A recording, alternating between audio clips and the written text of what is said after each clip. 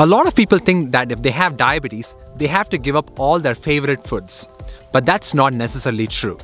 So in this video, I'm going to talk about glycemic index and glycemic load and how you can use them to eat the foods you love without sacrificing your health. So when we say glycemic index, so what we mean by that is that, so let's say I give a 50 gram of sugar to someone and then I see how quickly the blood sugar spikes. So this 50 gram of sugar serves like a gold standard for the glycemic index and we give a number of 100 for this 50 gram of sugar. So using this as a comparison, we just rank the other foods on how quickly the blood sugar spikes. The glycemic index can range anywhere between 0 to 100. So anything less than 55 is considered as a low glycemic index food. Anything between 55, 55 to 70 is considered as a medium glycemic index food. And anything more than 70 is considered as a high glycemic index food. The key here is 50 gram of carbohydrate. And certainly there are some foods which can provide you 50 gram of carbohydrate with just like handful of serving, whereas uh, whereas there are certain foods that you have to eat multiple cups in order to get the same 50 gram of carbohydrate. So the classic example is brown rice and watermelon. So one cup of brown rice has around 50 gram of carbohydrate. And um, believe it or not, one cup of brown rice is not that, not that big serving. So that one cup of brown rice is considered as a um, low to medium glycemic index food. But let's say a watermelon. So watermelon is considered as a high glycemic index food. So in order to uh, eat 50 gram of carbohydrate from watermelon, I need to eat around six cups of watermelon. So the, the wrong notion is people, um, I've heard um, advice saying that if it's a low glycemic index food, you can eat unlimited amounts. And if it's a high glycemic index food, you need to avoid it.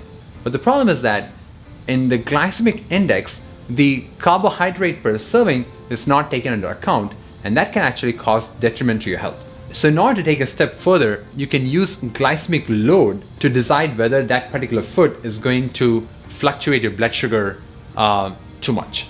So the formula for glycemic load is basically glycemic index into carbohydrate per serving divided by 100. A glycemic load more than 20 is considered high 11 to 19 is intermediate, and low glycemic load is less than 10. So I'll provide you an example. When I was growing up in southern India, I often saw people eat 3 to 4 servings of white rice. So one for sambar, one for rasam, one for yogurt. And however when it came to dessert like gulab jamun or any type of donut, they would refuse it saying that they were diabetic. There was always a lot of sympathy for them. Oh, I'm sorry, you cannot enjoy this dessert. First of all, his post-meal blood sugar is going to be high even without the gulab jamun. In addition, if he really wanted to enjoy the gulab jamun that day, he could have had it without damaging his metabolic health. Let me show you how. In 3 cups of rice, your total carbohydrate per serving is around 133 gram. So glycemic index of white rice is anywhere between 60 to 80, depends on what type of white rice that we use. So I'm just going to keep an average around 60 for, uh, for this calculation here.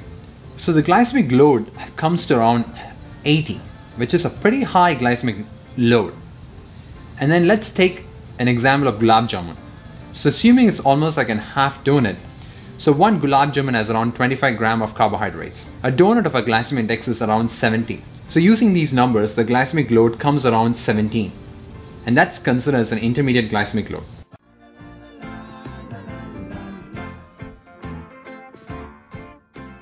So as you can see here, it was not that one particular gulab jamun or one just cup, one cup of tea with sugar that was causing your blood sugar to go high. It's just an overall glycemic load that you consumed from non-sugar foods which are eventually going to be turned into sugar in your body.